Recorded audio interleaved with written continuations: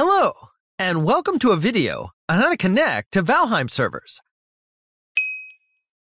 The first step is to go to scalacube.com and log into your account. Click on Servers, and then click on Manage Server.